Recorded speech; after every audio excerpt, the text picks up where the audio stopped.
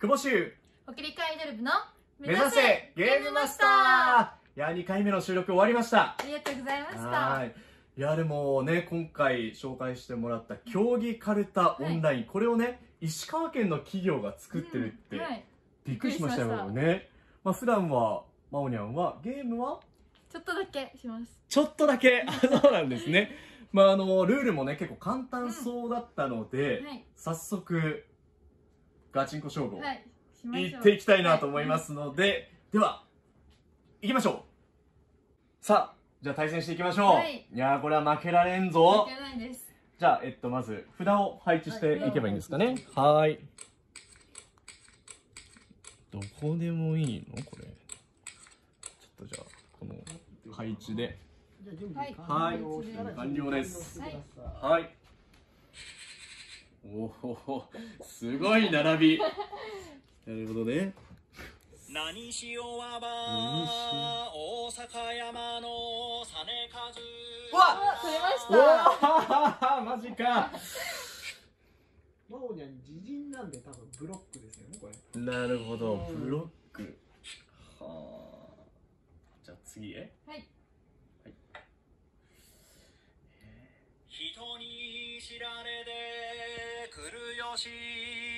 な。ねいいですないやつかなこれは。心当てにおらばやおらん。ああ初しもさあのどっちだろうおあー取られたあ取れましたうわー嘘お手つきお手つきうわあ二枚なんか遅れあ2枚送れるんで相手に送ってください、はいマオニャンが2枚取ったから送れます。はい。ーうわー。あ本当だ。どっかに置かなきゃいけない。なるほどね。で今来てるんで久保十さんの方に来てるわけですよね。うわ。これをゼロにしたらいいってことですよね。はい。うわじゃあ次へ行きましょうか。はい。置いたら。置き惑わせる白菊の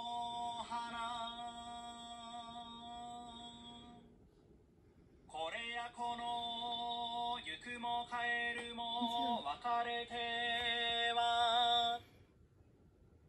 さあどっちが取ったろう間違えました。ってことは相手が落ち着きやったー！返してあげるよ。いや1枚返しました。さあ何枚あったら取れるかなっていう感じですなねるほど。次。難しい知るも知らぬも大阪の関。立ち別れ稲葉の山の峰に追う。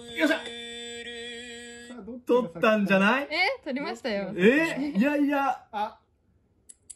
どっちさあだどっちだ？マオうわニャンの勝ちー。0.1秒差取りましたそうか。松これはちょっと。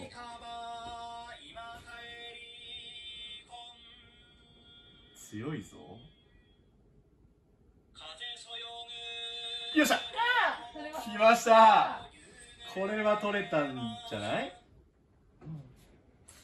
ちょっとこれはマオニャンが強い。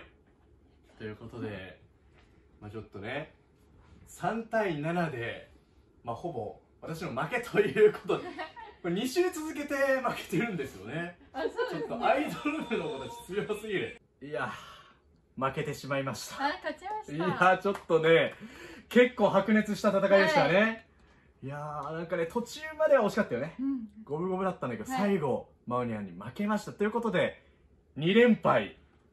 アイドル部が強い。はい。いや本当にねどうでしたか？でもやってみて。でなんか、うん。あのーさ初めてなのに勝てたんですけどあの今この時代なのであの友達ともやれたらいいなと思います。ちょっと今度は勝ちちょ僕もこそこそ練習をしてちょっとリベンジしたいなと思います。えーということで、久保州北陸アイドル部の目指せゲームマスター、また皆さん聞いてください。えーお相手は久保田修平と、北陸アイドル部のマーヤンでしたバイバーバイバイ